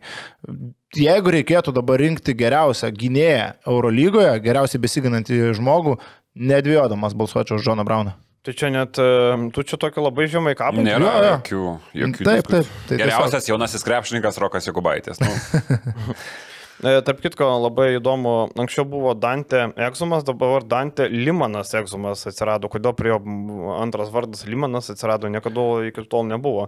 Bet šiaip man vakar įdomu, kodėl nebuvo pabandytas Limanas vis dėlto nebe pirmą dieną toj komandai. Vos pusantros minutės gavo pasireikšti, kai vakar nei Laprovitola, nei Jokubaitis nefunkcionavo. Teksumas po virusu. E, Kalatisas po traumos irgi neką geriau atrodė. Kalatisas 20 minučių 0,5 metimukai. E, vakar irgi buvo toks sausau. Šiaip, e, kaip Prašaras sako, vakar pristigo pagalbos. Žaidė gerai Higginsas. E, Deivisas buvo ok, bet nerado trečio žaidėjo, neatsirado, kas galėtų patemti komandą. Ir čia jau didelė problema, nes nebuvo Nikola Mirotičiaus, kuris serga koronavirusu. O, o Unixas, Unixas irgi turėjo savų problemų, nebuvo, nebuvo audžimėjo. Bet ne Barcelonai skustis Taip. Taip. rotaciją. Tu pasižiūri, Unixas rungtynės laimėjo iš esmės 5 plus 2. Mario Hezonė 37,5 minutės, Jonas Braunas 33,5 minutės, Na, šeši. Lorenzo Braunas 35 minutės. Na taip, 6 plus uh, ten gauna Dimitrius Ozinskis 8 minutės ir Večeslavas Zaicevas 8. kuris Brentley buvo porą. iškritęs, iš vis išrikiuotas. Taip. Šiaip pasižiūrėkime į Unixo žaidėjus. Andrėjas Voroncevičius jau seniai buvo nu, nurašytas Eurolygos, prisiminkim tai. Uzinskis em, žaidžia nes įspūdingai gynasi, nes jisai pradeda rungtynės, prisirenka pražangų ir sėdi. Zaicevas iš vis negauna žaisti, jeigu mėjo būtų sveikas, Zaicevo nebūtų. Brentley šiaip keista, kad tik 2 minutės jisai gaudavo bent jau 10. Na ir vakaras pisų visiškai, pisų netiko niekur e, vakar apskritai. Voroncevičius šiaip starto penketo žaidėjo šitoje komandoje. Taip, taip. Jisai po 21 minutę vidutiniškai žaidžia, kas yra tikrai labai, labai daug tokio amžiaus krepšininkui, kuriam bus 35, man atrodo. Ar jau yra? Bet čia E, Unixas ir tampa to bus. pavyzdžiu, kad nu, nereikia 10-12 žaidėjų norint funkcionuoti gerai Eurolygoje, užtenka 5 gerų. Ir Uzinskio. Ruzinskio. A, nemanau, kad užtenka vis tik. A, Nu kaip? jie turi daugiau Realas paprieštarautų tau. Jo, jeigu tu esi Madrido realas su labai plačia piniginė, tai taip, bet jeigu tu esi Kazanės Unix su, su nebloga piniginė, bet tikrai bet tai dar jie turi netokio daug lygio. žvaigždžių, bet jie turi ir taip pat lygiai tokių rolės krepšininkų, kurie Eurolygos lygiai atitinka, tai ar tas solelis nuo to trumpas. Aš galvoju, kad Eurolyga yra labai ilgas maratonas, kur vis tik reikia solelio ir tai ir daro labai didelį skirtumą. Pavyzdys Feneris, kiek žaidėjų iškrito, 5, 4, su šėjokais Dekolo, Veselį. Pierre Henry praktiškai galima sakyti iškritęs. Jie su tuo savo suoleliu ištraukė ir dabar gyvena labai sėkmingą atkarpą ir jiem vėlgi tos kiekvienos laimėtos rungtynės dabartiniam uh, laikotarpį jiem yra dvigubas laimėjimas, kadangi jie ir tempia laiką iki Dekolo ir Veselį sugrįžimo ir per tą tempiamą laiką jie dar nuskina ir pergalės. Tai labai gerai jiem yra. Matai, Kazanės Unix dar šiek tiek tas pavyzdys ne visai tinkamas, nes tai yra rusų klubas ir jiems reikia rusų, kurie netitinka, bet kokiu atveju Eurolygos lygio arba atitinka labai iš dalies, nes jiems reikia dar žaisti VTB. Lygoje dėl to tas vaizdas gaunasi toks, kad, na, 6-5 žaidėjai yra itin aukšto lygio ir tada, va, ištraukia Voronsevičių vietinį žaidėją, kas jiems yra labai svarbu ir kuris duoda realią naudą, o kiti krepšininkai gaunasi, na, kylantis nuo suolo epizodiškai, vietiniai. Iš vis, žinai, tarkim apie realą, e, kaip, e, koks geras biznis, tu pardavėjai e, balandį, pardavėjai už 2 milijonus deką ir praėjus, nu, daugiau nei pusmečiui, jis pas tave grįžtų už dyką. Tai yra super biznis. Čia iš vis legalu realiai. Nu. Ta prasme, čia mokesčių inspekcija realiai- Priminsiu, kad tais pačiais metais jie Fakų pardavė Kampaco ir irgi gavo milijoninę išpirką, kas yra, kas yra labai solidu. Tik jis negrįžo dar. E, Tik jis dar negrįžo ir vėliau pardavė Gabrielį Deką ir ko gero negrįžo artimiausiu metu. Pardavė Gabrielį Deką ir galiausiai jį susigražino. Tai čia toks e, dvigubas kažkoks dar biznis, nes nuskau reikia pridėti ir Kampaco. Tai labai solidu ir bet kokiu atveju tas sezonas buvo rebildinimuose ir su tuo rebildinimuose sezonu jie Eurolygoje ištraukė didžiulę intrigą playoffuose, su tuo rebildinimuose sezonu jie vis tiek neprarado vietos Ispanijos finale ir dabar jie yra pagrindiniai, vieni pagrindinių favoritų laimėti tiek Ispaniją, tiek ir Eurolygą. Tai Šiaip atsistatė, kosmosas. grįžo idealiai. Sakau, drąsiai ne vieni pagrindinio pagrindiniai. Taip, Matant sudėti, okei, okay, tai yra vienos rungtynės finale Eurolygos, visko ten Tai va gali dėl to aš nutikti. nesakau, kas yra pagrindiniai ir Bet negali būti. pasižiūrėjęs į sudėtį dabar priekinė linija, nu ten atrodo kosmiškai. Aišku, šiek tiek yra disbalansas, mano akimis, tarp priekinės šios komandos linijos ir gynėjų. Aišku, Tomasas Ertelis atrodo puikiai, bet vis dėlto šiek tiek daugiau gylio ten perimetre galbūt norėtųsi. Nigelas Viljamsas Gosas, kiek jis pateisina tas viltis. Vakar iš vis nežaidė. Vakar jo, iš vis nerungtyniavo Fabianas Kozeras, a, Sergio Julas, tai jau yra veteranai vis dėlto, o kai tu matai priekį Geršoną Jabuselę, sugrįžusi Trejų Tompkins, a, Anthony Randolph, tuoj Walteris Tavarešas grįž, a, Vinsanas Porė, nu čia yra kosmosas. Tai dėka irgi galim priskirti prie tokios trečios, ketvirtos pozicijos žaidėjas, irgi tas pats, žinai. Dabar trečių daugiau įsivaizduoju žaiskai. taip ir bus. Turbūt Rūdė Fernandesas biškai paraštas, gal Ispanijos lygai daugiau. O šiaip pasižiūrėjau 100 procentų potencialas. Čia realas iš vis nerealiai. Ir tas deko pirkimas turbūt toks yra pusiau iš to, kad Barsa nepaimtų to deko. Nes jeigu Barsa paimtų deką, nu, turėtų kur padėti ir taip toliau. O realas pasiemė. Absoliučiai nereikalingas žaidėjas Real yra. Taip, realui jo šiuo metu kaip ir būtų, nebūtų jok, jo- jokios prasmės. Manau, kad jau kampacu taptų laisvas ir jį nupirktų dar su visais batų ryštukais. Čia jau taip e, kitaip. Nu, Kampaco naudingesnis būtų, nes jis tik, vis tik trūksta perimetro krepšininkų gylio, bent jau mano akimis šiek tiek. Čia apskritai game changeris. Jo, tai perimetrė, matai, Gosas, e, jeigu tu jam duosi žaisti, žais, bet, bet jisai kažkaip, man atrodo, prie laso taip gana bangiai žiūrisi. Aišku, Tomasas Artelis iš kitos pusės puikiai prilipo, idealiai prilipo prie Pablo Laso schemų. Vakar irgi prieš Berlyno Alba darė viską, veržėsi tie metimai jo iš vidutinio, staigus išsimetimas, turi jis tos laisvės improvizuoti ir jaučiasi kaip žuvis vandenyje Artelis iš tikrųjų. Dar norėčiau vieną temą paliesti, kaip e, trenerio kaita sėkmingai gražina Monaką į miksą į patekimą į atkrintamąsią. Dabar Monakas šiuo metu sužaidęs, na gerai, dviem mačiais daugiau, bet yra aštuntoje vietoje nustumęs Anadolo FS. Ir Monakas būtent su trenerių keitimu iš tos komandos, kur jau ten mes kalbėjom, kad jau krenta dam, dam, dam, grįžta ją papap. Ir Saša Obradovičius puikų darbą daro. Ir labiausiai Sašai turėtų dėkoti Donatas Matejūnas. Na, įspūdinga, ką daro Donatas Matejūnas atėjo šiam treneriui. Viskas labai paprasta. Dirbant e, Mitrovičiui per, e, per 16 mačų, dviženklį taškų skaičių pelnė 4 kartus. Dabar 5 mačai tokie išėlės. Tai ir šiaip vakar Donatas, ką norėjo tą darė? Prezenitą absoliučiai ir, ir Donto Holas em, lieka, lieka užrybį, kaip sakant. Jis šiuo metu traumuotas, bet kai nebuvo traumuotas, matėm, kad ir minutė sumažėjo, ir rolė sumažėjo. Gruodžio mėnesį ten buvo labai įdomus momentas, kai per aštuonerias rungtynės net septynis kartus pralaimėjo Monakas ir tada po 17 turo e, 14 vietoj buvo Monakas. Mhm. Tik tai 14 vietoj ir ten ne tik kad 14 vietoj, bet e, tada buvo su šešiom pergalėm, o playoffų paskutinė komanda buvo su dešimtim, jeigu neklystų pergalių, kas reiškia, kad net keturios pergalės iki playoffų, net didžiulis toks gepas buvo ir dabar. Šito komanda taip pasivijo, kad ji jau yra, kaip ir tu minėjai, aštuntoje vietoje ir visiškai, ir Dante Holas absoliučiai nusėdo, dabar jis, aišku, man atrodo, turi nežaidžia dėl trenerio, ne dėl trenerio sprendimų paskutinėse rungtynėse, bet kalbant apie ilgalaikę atkarpą, paskutinę pastarąją, tai e, Dante Holas iš vis neturi tokio didelio pasitikėjimo ir, ir labai daug ir Maikas Džeimsas atsigavęs kūrė motyvūnui ir šita jungtis yra daug geresnė nei buvo, kad tarp Džeimso ir Dante Holo. Tai kas garantuoja pergalės dabar? Tai tą patį Villerbaną Svelį, tai visiškai vieną kasą sutaršė Monakas. Dvi, sa- ir kas svarbiausia, jie dvi rungtynės žaidė šią savaitę ir Sankt Peterburgė žaidžiant su Zenitno netrodė kažkokie Zenitą pavargę. CSK paguldė, prisiminkim, grįžęs po lygos patalo, bet čia vėl gali būti tas pats epizodas. Po lygos patalo grįžęs Zenitas, o CSK nukala, ateina Monakas, bam, viskas nebėra, žinai. Čia irgi lygiai ta pati situacija gali būti. Džiugu, aišku, dėl Monako, bet vis tiek aš, žvelgdamas dabar į turnyrinę lentelę, nemanau. Manai, kad Zenitas iškris iš aštuoneto. Nemanau, kad Monakas liks aštuonetą, dar pridėkim tas, kad vienam rungtynėm daugiau sužaidė ten už nugaros Anadolų. Tas pats Fenerbakčia nors ir buksuoja, bet jau artėja. Palaikys biškė. Artėja, artėja Fenerbakčia ir grįž Dekolo, grįž Veselį, jeigu šita sudėtis dabar išlaikys balansą, jo lab, kad kitos rungtynės su Cervenas Vesdabelo ir atsilaukia Fenerbakčia, tai ten bus labai įdomu. Makabis galų gale laimėjo prieš Olimpijakos, o dar gali irgi pakilti. Čia karšta. Aišku, Vilerbanas vėl, tarkim, mano akimis jau visiškai krenta iš kovos a, ir a, krenta pelnytai, tarkim, prieš tą patį Monaką. Žalgiris Krenta iš Oi, kovos. Žalgiris, Žalgiris iškrito.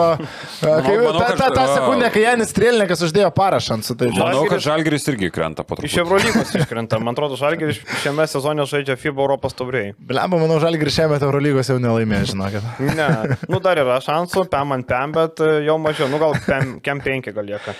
E, Dar Ne, bet kas, tarkim, jeigu primetus, jeigu visas rungtynės laimėtų dabar. gerai, gerai. O kodėl ne? Nesvaikstam. e, dar ką galima išskirti iš e, ką padarė Saša, labai gerai sudėliojo akcentus, kas ką turi daryti. Motijūnas labai gerai išnaudojamas polime ir pradeda išmokti įslėpti gynybą irgi. Kitas dalykas, Vilas Tomasas, kuris atvyko, būdama tapti tokiu game changeriu, na, pas Mitrovičių būdavo, tai žaidžia, tai nežaidžia, tai kiek žaidžia. Dabar jis tapo to žaidėju, kur ir centrų parungtiniauja, ir e, vėl daug minučių gauna, tarkim, šią savaitę vėl 35 minutės prie Zenitą, prieš Asvelį 28. Ir Dvienas Baconas tapo tuo, tą dedamąją dalim, kuris puikiai užpildo, yra ta jungiamoji grandis tarp gynėjo ir polėjo. Vat tiek turėk, super važiuoja. Dar Alfa Dialą pridėčiau, prieš Zenitą nesubliskėjo. Jo, prieš Zenitą nesubliskėjo, su Asveliu labai gerai atrodė daug to juodo darbo kovingumas, dėl kiekvieno kamulio kovoja. Šimtas- šimtas 100 procentų. procentų potencialo. Tai vat šitie žaidėjai, manau, ir veda Monaką dabar pergalių keliu. Aišku, tas Danilo Andžiuš- Andžiu- Andžiušičius yra šiek tiek iškritęs, galbūt iš konteksto, kaip Robas Grėjus atrodys sugrįžęs, irgi klausimas yra, dar kam papildyti. Parisas Ly, Yra, yra ir e, ką, e, daugiau Eurolygo vakar nieko tokio įdomus nevyko. Ten matėme, Makabė laimėjo prieš Olimpiakosą, bet e, ten viskas, e, tai gal nebereikia Svairopol atleisti, ne, jau viskas gerai turbūt susitvarkė. Jo, tai čia tie fanai visą laiką ir gyvena, kur arba geras, arba blogas treneris tarpinio nėra. Niekada. Tai jo. dabar geras, man atrodo, visai. kaip jums cvirkos benefisas Klaipėdai? Gimtadienis sugadintas a, Dainiaus Adomaičio. Nu, e, šiaip mane labai nustebino, kad e, po gero kamata mačo Neptūnas taip, e, taip prastai atrodė su Dzukija. Bet čia vėlgi galbūt gali būti, žinai, prieš Lietkabelį labai daug laiko turėjo ruošęsi, ruošėsi, dėjo energiją, dėjo viską. Čia galvoju, ai, nu ką čia tas Dzukija, apsilošė vieną, vieną ranką, vieną koją, bet vat, nereikia daug Zigmantavičius yra ir žaidžiam krepšinį. Jo, stabilumą išlaikyti Neptūnui su šita sudėtim ir vienodai gerai žaisti visose rungtynėse turbūt naivoka būtų. Reikės, reikės dar laiko Domaičiui, kad nulipdytų šitą komandą iki tokios, kuri kovotų dėl, na net nežinau, penktosios vietos, tai jau turbūt penktoji per toli šviečia LKL. Ar Lemba, čia toks buvo perėjimas, kad mes ką tik kalbėjome apie Maiką Jamesą ir Dvainą Baconą, dabar, Dabar Martynas Martynas Alitaus Zukiją. Ir e, kad dar, e, kad Dzukyje, nu, jeigu Adamas lapė, tai rungtinių pabaigoje trajekas mėgė, čia jau visiškas pasityčiamas, čia kaip sakant, uždegė žvakutę ant torto. Jau Adamas lapė to, kad pataiko trajeką, nu čia jau. Ir po to antrą metę, dar galėjau antrąjį durti, bet, bet nepataikė. E, Šiaip jo, pas mus tokios vietinės batalijos, tai kitko karalius Mindaugo taurė, vat, matom, artėja ir na, mačiau, kad tiketai labai pigus, tai Hebra geras reginys, manau, laukia, tikiuosi, kad bus su žiūrovais. Taurė šįmet laukia fantastiška. Mindaugo karaliaus, kaip sako Šim- Milašius, Šimašius, Milašius. Bet va su šiauliais prašovėm, jūs jau su Bružu kalbėjot savo podcast'e, mes galim irgi paliesti. Blemba nustebino, šaunuolį. Nu. Iš tikrųjų, šiauliai, Martinui Pociui iš karto po švilpuko žinutę parašiau, kad sveikinu, sorry, viskas gerai. Aišku, aš tai lieku vis tiek prie nuomonės, nors ir sveikinu, kad Juventusas man būtų buvęs įdomiau. Prie Žalgirį, aišku, Antanas reikia galbūt paruoš kažką įdomaus Žalgiriui, bet varžovas vis dėlto. Kodėl ne, gali užtaikyti Antanas, tikrai drąsiai. Užtaikyti į, į padichą vieną Jūras Dovsui. Gali užtaikyti. Tikrai gali užtaikyti. Vienos rungtynės tokį žalgerį prigaut, bet bus jau su visais beveik žaidėjais, tai čia irgi kitas reikalas, bet, nu, kod, nu nebūkim jau čia tokie ir rytą gali užga, už, užtaikyti, jeigu, tarkim, suvestų tas komandas, nu, tarkim, hipotetiniam scenariui, ar ne? Tai bet kuria iš tų komandų tokie šiauliai vieną dieną, serijoje, jokių šansų, čia yra kaip o, Dovydas prieš Galijotą, bet vienose rungtynėse šiauliai. Bet kaip Juventusas šią akimirką atrodo prašovęs man su Adrianu Peinu už tokius pinigus. Ai, Aš ai, klausiau skauda. jūsų kolektyvas mhm. podcastą ir aš absoliučiai pritariu šitoje vietoje. Nu, negali sakyti, kad nelogiškas įėjimas. Taip. Čia, čia, nu, ta prasme. Eurolygos žaidėją pasiėmė. Pamenu, su Žydrūnu Urbanu pats kalbėjau po kažkurių LKL rungtynių, nu, nėra ką, sako, tiesiog nėra ką, laukiam, laukiam, laukiam ir viskas. Ir tu išlauki ant Eurolygo žaidėjo, nu gerai, jam nusprendė pamėtėti šiek tiek pinigų, bet nu, ant popieriaus, atsukant laiką atgal, nu, tai yra, nėra blogas sprendimas. Gal kažkiek anksti buvo jį tai bombint visai, atvyksta Adrianas Peinas, čia ruošiam jum bombą tokią, vat, prašau, sprogdinam, gal šiek tiek per anksti, bet iš esmės pats pirkinys, nu, aš ne visiškai suprantu tuos atsiliepimus kai kurių žmonių, kaip čia, koks čia fiasko ir panašiai. Nu, tai taip, bet ar jis logikos neturėjo, aš nesakyčiau. Niekas turbūt nesako, neturėjo logikos, bet į kupšą šią sekundę keičiau užsimerkęs ir net ne, nesukčiau galvos didelės. Kupšas būtų visiškai, visiškai geriau. Įdomu, kas dabar rutinoj bus, e, ar bus kažkokių pokyčių ar ne. E, Matom, praeina beveik savaitė, kol kas tylų ramų nieko nėra ir reikia rungtinių su Neptūnu dar yra savaitė. E, Šešios dienos, jeigu taip e, būti tiksliam, tai kitą ketvirtadienį reiškia mačas. Tai yra laiko, nežinau, ar kažką keis, kažką darys, bet jeigu pralaimėtų ir Neptūnui, tai mm, jau labai stipriai liepsnuotų turbūt ir Urbanas, aš ką ir sakiau, mm, nežinau, ar įmanoma Urbaną pakeisti, turbūt pats turėtų ateiti pasakyti, kad aš nusiemu, bet kiek žinau, iš Drūnas yra toks žmogus, kur e, taip nepadarytų.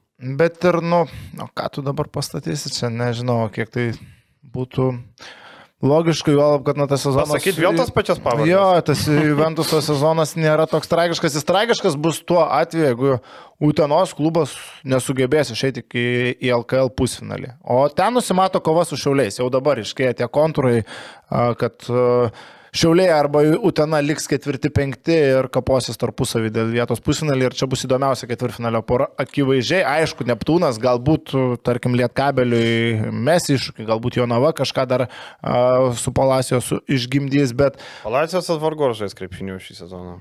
tai Kaip sakė, kaip sakė Vaidas Ivaškevičius, Palacijos pas mus yra lyderis pagal kovotus kamuolius, lyderis pagal taškus, lyderis pagal algą ir pagal traumas. Ką su juo daryti, nežinom. O dar grįžtant prie KMT, Čia tai sakė Nogas iš Saulovas, kaip toje LKL konferencijoje. Ne, čia girdėjau kambariukę. Okay. Vipė. Buvai Vipė Jonavas. Ne, panevižė Vipė. Mm. Aš buvau Jonavas Vipė. Nu ir ką davė? Smagu, smagu, ten žinokit, tai faina. Vaidas pasikvietė. A, Jo sunus dar dirbo klube, tai su sunumu O ką davė? pasikalbėjau. Ką davė? Nieko, sumuštinukai, viskas tvarkingai, pasišnekėjom. Buvo? Vokiško buvo. Buvo piešt. kažko. Jau čia dabar viską ir pasakoju. Rusiškas buvo? Rusiškas Kažko buvo. gal buvo, kažko, kažko gal ir buvo, tam tos žuvies ten, kur šeškus organizuoja, viskas ten kaip, kaip, kaip turi būti. O grįžtant prie KMT, tai Lietkabelio ryto para buvo žiauriai įdomi ir man labai įdomu, ar Lietkabelis vėl nesudegs prieš rytą psichologiškai. Mes jau nekartą matėm, kad kai ateina svarbiausios rungtynės, pernai metų pusfinalį Repeticija kito šeštadienį. Prisiminkim pernai metų pusfinalį LKL. -e. Sudėkė, Lietkabelis tikrai galvojau, kad pasikapos ir bus įdomi kova vieni vartai. Atvykus į SG areną, vat kaip Krapikas ir sakė, ir Lietkabelis, ne tik Žalgeris. Turės parodyti charakterį ir vyriškus kiaušinius. Pralaimėjimas nebūtų tragedija Lietkabeliui, bet na, turi būti kova. Ir e, jeigu taip nieko negaisinant, e, kai kurios savivaldybės jau priema sprendimus e, nedaryti renginių uždarose patalpose. Tai aš būčiau nenustebęs, jeigu iki KMT Vilnius priims sprendimą, kad, na, be žiūrovų reikia žaisti. Manęs nenustebintų, turint omeny, kad, nu, Hebra, pažiūrėkit, kas darosi. Bet uh, dar yra šiek tiek laiko, gali spėti uždaryti ir atidaryti. Tai kaip tik šimonytė sakė, kad pikas bus dar tik tai po dviejų, trijų savaičių, tai e, dar piko nėra. Tai, žinai, jeigu uždarys, tai uždarys kaip tik tuo metu, žinai. Nu, reikia būti optimistis, tikėtis, kad bus. Nors, žinai, jeigu rinkti sveikatą ar e, su žiūrovais, tai dėl manęs gali kamata būti be žiūrovų. Šiaip, kad ir kaip bežiūrėsi, logiškiausias, nu, tas pirmas, ką, per ką kerta, tai yra tie masiniai renginiai. Man įdomu, sekmadienį kaip su respiratoriais bus situacija SG arenoje ir tikrai jau taip įsidėvės. Tai, ne, žinok, e, čia buvo panevežį rungtynės su Šlionsku, tai daug žmonių neturėjo, bet dalino, nes dar buvo likutis, bet dabar jau nebeturi ir klubas. Tai žmonės, kurie šeštadienį eis į rungtynės, neturi turėti savo, e, kaip lygiai taip pat ir MSG. Šiaip mačiau, kad e, vaistinėse nėra, bet ten kai kurie priekybos centrai turi. Reiks man pačiam užsipirkti, aš pats kažkokių dar buvo, dabar tas kaukės nešiau, reikės pasižiūrėti respiratorių. Svarbu, ne šaliko kokio apsirengimo. Let's fucking go, ne?